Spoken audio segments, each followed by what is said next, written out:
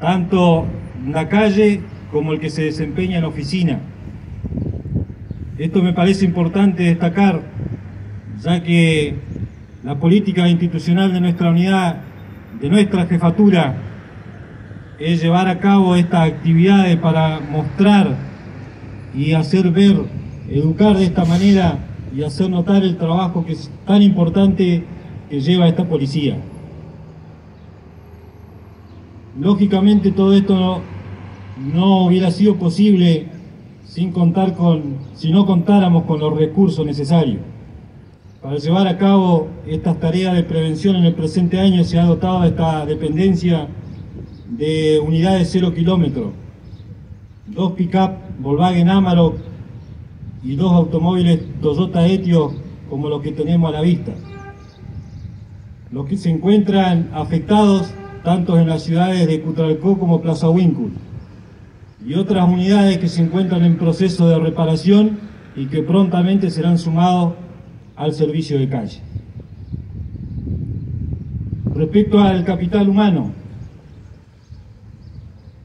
esta dependencia se compone de la dotación más numerosa con que cuentan estas ciudades de Plaza Vínculo y Cutralcó. En el presente año, con mi equipo de trabajo, hemos intentado, hemos logrado, mejor dicho, la capacitación constante, no tan solo de la ley Micaela, la ley de, violencia, capacitación de atención al público, sino que también hemos generado la autodefensa de los efectivos policiales a través de las distintas herramientas con las que cuenta el efectivo policial. Todo ello a efecto de tener efectivos, personas capacitadas, calificadas y en bien de optimizar el servicio de prevención.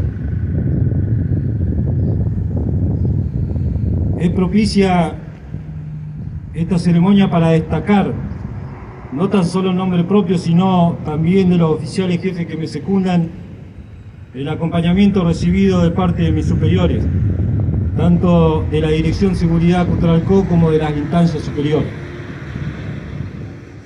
Y en el mismo sentido de los oficiales jefes de las distintas unidades de esta comarca. Asimismo de las instituciones públicas y privadas